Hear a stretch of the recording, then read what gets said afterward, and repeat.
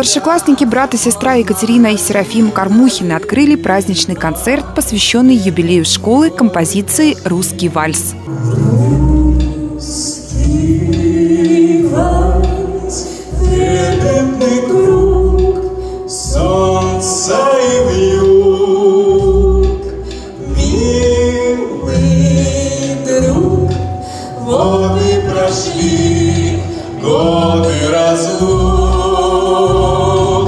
Красивое начало празднованию положено. Гости, вдохновленные прекрасным выступлением дуэта, перешли к просмотру ролика «Школа, школа, я скучаю». И каждый с ностальгией вспоминал школьные годы. Трогательный ролик подготовил педагогический коллектив, старательно, буквально по крупицам собирая фотоленту из снимков разных лет. Школа, школа, я скучаю, как мы быстро повзрослели.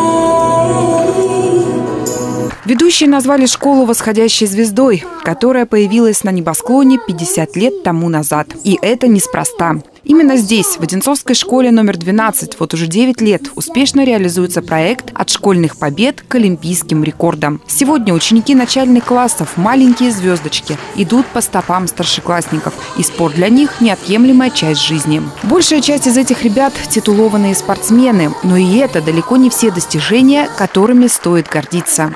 Я хочу вам сказать о том, что вчера в Звенигороде на окружном празднике Дня Учителя лауреатами именной стипендии главы Одинцовского городского округа стала Клевиткина Татьяна Викторовна, учитель истории и э, Матипатика Галина Александровна, учитель химии и биологии.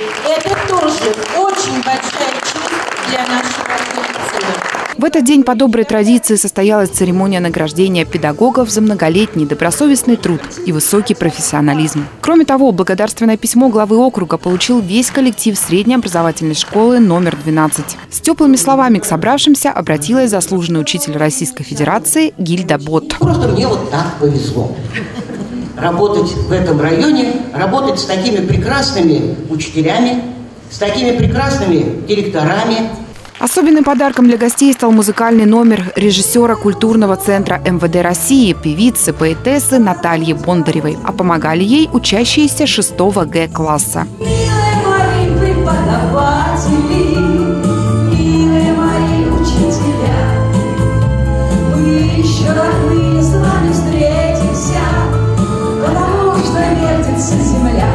Мила Тарасевич, Артем Ломоносов, телекомпания «Одинцова». Потому что вертится земля.